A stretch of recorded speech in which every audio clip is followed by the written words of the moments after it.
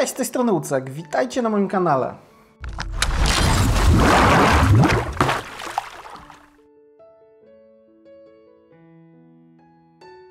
Nie minęło chwilę, zanim skończyłem nagrywać dla Was film. Pierwsze wrażenia odnośnie Huawei Mate 20 Pro, ale już trzeba nagrać kolejny film.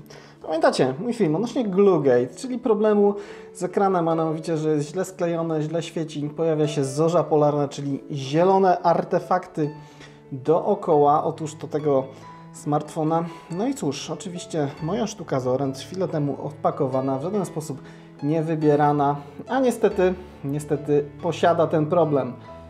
Cóż, co musimy zrobić, żeby w ogóle dowiedzieć się, jaki mamy ekran, jak sprawdzić, czy Wasz Mate 20 Pro jest sprawnym, czy niestety hmm, zorzopolarnym gadżetem za 4000 zł.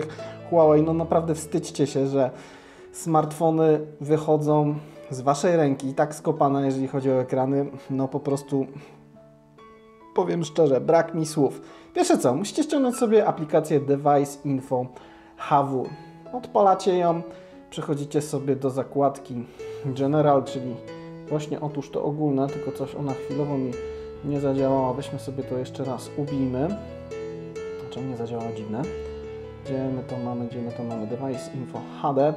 No i pierwsze co, patrzycie sobie, co macie tutaj. Jeżeli macie ekran dotykowy, akurat w polskiej wersji tak to wygląda, macie jego model tak naprawdę producenta. Wystarczy, że tu zobaczycie LG 0 coś tam. Ja mam jeszcze przed aktualizacją system, bo widzę, że wyszła łatka, to jest pierwsza wersja systemu. Następnym może się to zmienić bodajże na 51, ale jeżeli macie tu LG, no to możecie być prawie pewni, że macie problem taki sam jak ja, a zaraz Wam go pokażę.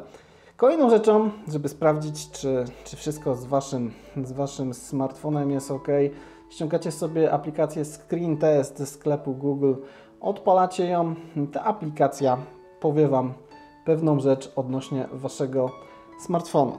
Wiecie co, spróbuję Wam to pokazać na filmie, jak nie to zrobiłem focie, ale żeby to pokazać na filmie, co tu się dzieje, niestety muszę zgasić moje światła. Zobaczymy, jak moja kamera to wszystko wyłapie. No ale dobra, widzicie, mamy otóż to mojego Mate'a 20 Pro. Ciemno-szare tło. No i co się dzieje, gdy zmniejszamy tą jasność? Zmniejszamy, zmniejszamy, zmniejszamy. Dajmy sobie minimalnie. No i co tu widzicie? Dół ekranu jest czarny. Jest tak, jak być powinno. Może moja kamera troszkę przekłamuje, ale na przykład bok, góra, no wygląda pięknie zielono, no czyli tak jak nie bardzo być powinno. Tak naprawdę jak jeszcze zobaczycie sobie na moją tapetę główną ciemną, ja, może to nawet tutaj też widać. Tutaj macie ciemne, szare części, tu lekko zazielenione, więc no cóż, nie wygląda to ciekawie. Jeszcze oczywiście wrzucę Wam zdjęcie, jak mi się udało sfotografować. Otóż to piękny ten efekt, czyli zorzę polarną za 4000 w smartfonie od Huawei, no kurczę, dobra, ja myślałem, że tylko Samsung ma problemy i to ewidentne. Ale no widzicie, że Huawei niestety też daje ciała. Daje ciała po całej linii, no bo jak topowa jednostka może wychodzić z tak skopanymi ekranami.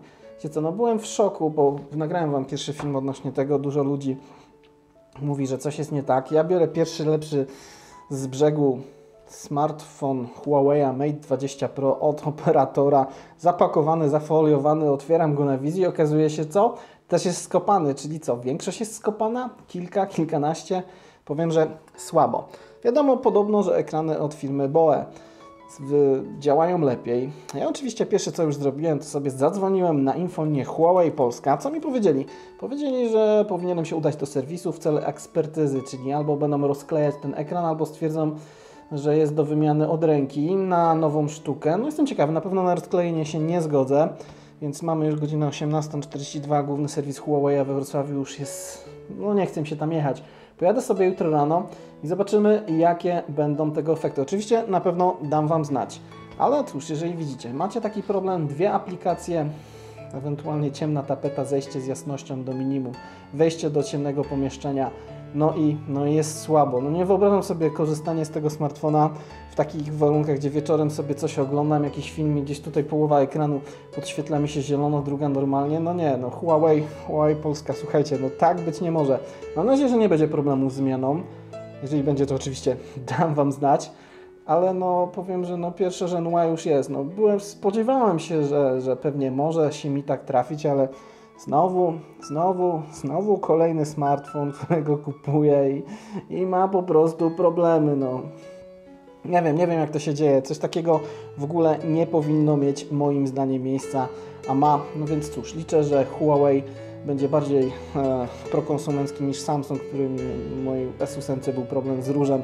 Skończyło się niestety na rękojmi. Zobaczymy jak będzie tutaj, ale na szczęście zakup przez neta, więc mam w razie czego 14 dni, żeby odesłać tego smartfona, jeżeli okaże się, że no, serwis twierdzi, że o co mi chodzi, chyba mnie powaliło, a widzicie na zdjęciach, że jest to totalna padaka, klapa i, i, i, i no niestety lipa. Czyli Gluegate, jak widzicie, bierze się fona. Nadal to istnieje, nadal są problemy z tymi ekranami. Tak być nie powinno, więc jeżeli mieliście, oczywiście piszcie, opiszcie swoją historię w komentarzach, chętnie dowiem się, jak u Was to załatwiono. Część już Was pisało mi, że teoretycznie bez problemu, ale zobaczymy.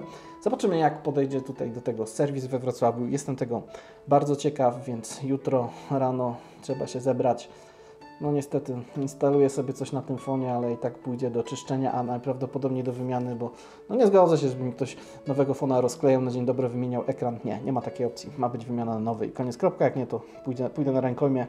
Znaczy, może nie rękojmie, po prostu go oddam do ręki i zażądam nowej sztuki, no bo no to jest, to jest niepoważne. To jest niepoważne, żeby poważna firma, która chce być mm, liderem, robiła takie rzeczy i sprzedawała telefony no, z tak skopanymi ekranami. Jestem ciekaw, gdzie tam w ogóle w Chinach jak ta kontrola jakości przechodzi, bo coś takiego nie powinno mieć miejsca. Kontrola jakości powinna być u producenta ekranu, później u producenta samego smartfona, a no widzicie, wyjmujesz nówka, sztuka i co? I kupa. Mówiąc krótko, kupa, zielona kupa.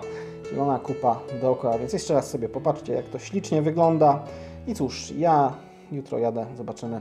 Będziecie na bieżąco informowani. Zobaczymy, jak ten temat się skończy. Oczywiście czekam na Wasze też komentarze, czy u Was też był taki problem. No jestem ciekaw, czy był, czy nie, no to się okaże. No i cóż, tyle. Glugate, jednak te ekrany są brzydkie, niefajne, jak widzicie. Z tej strony Ucek. Trzymajcie się ciepło. Hej!